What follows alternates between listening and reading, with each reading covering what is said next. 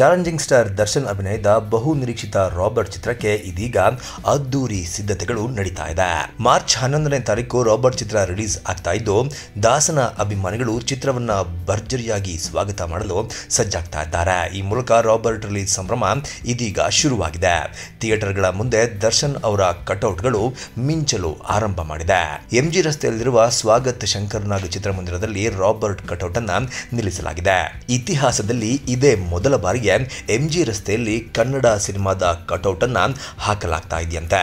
ಈ ಹಿಂದೆ ಫೇಸ್ಬುಕ್ನಲ್ಲಿ ಲೈವ್ ಬಂದಿದ್ದ ದಾಸ ಮಾರ್ಚ್ ಹನ್ನೊಂದಕ್ಕೆ ಸಿನಿಮಾ ರಿಲೀಸ್ ಆಗ್ತಾ ಇದೆ ಅಂತ ತಿಳಿಸಿದ್ರು. ಎಂಜಿ ರಸ್ತೆಯ ಸ್ವಾಗತ್ ಶಂಕರ್ನ ಚಿತ್ರಮಂದಿರದಲ್ಲಿ ರಾಬರ್ಟ್ ಕಟೌಟ್ ಅನ್ನ ನಿಲ್ಲಿಸಲಾಗಿದೆ. ಇತಿಹಾಸದಲ್ಲಿ ಇದೇ ಮೊದಲ ಬಾರಿಗೆ ಎಂಜಿ ರಸ್ತೆಯಲ್ಲಿರುವ ಸ್ವಾಗತ್ ಶಂಕರ್ನಾಗ್ ಚಿತ್ರಮಂದಿರದಲ್ಲಿ ಕನ್ನಡ ಚಿತ್ರವೊಂದಕ್ಕೆ ಸಂಬಂಧಪಟ್ಟಂತ ಕಟೌಟ್ ಅನ್ನ ನಿಲ್ಲಿಸಲಾಗಿದೆ. ಇದು ದರ್ಶನ್ ಅಭಿಮಾನಿಗಳಲ್ಲಿ ಸಂತಸವನ್ನ ಉಂಟು ಮಾಡಿದೆ ರಾಬರ್ಟ್ ಚಿತ್ರದ ದರ್ಶನ್ ಅವರ ಕಟೌಟ್ಗೂ ಮೊದಲು ಈ ಹಿಂದೆ ಯಾವ ಕನ್ನಡ ಚಿತ್ರದ ಕಟೌಟನ್ನು ಸಹ ಸಹ ಎಂಜಿ ರಸ್ತೆಯಲ್ಲಿ ನಿಲ್ಲಿಸಲಾಗಿರಲಿಲ್ಲ. ಇದೀಗ ದರ್ಶನ್ ಅವರ ಕಟೌಟನ್ನು ನಿಲ್ಲಿಸುವುದರ ಮೂಲಕ ಹಳೆಯ ಸಂಪ್ರದಾಯಕ್ಕೆ ಬ್ರೇಕ್ ಹಾಕಿ ಹೊಸ ಇತಿಹಾಸವನ್ನ ಚಾಲೆಂಜಿಂಗ್ ಸ್ಟಾರ್ ದರ್ಶನ್ ನಿರ್ಮಾಣ ಮಾಡಿದ್ದಾರೆ.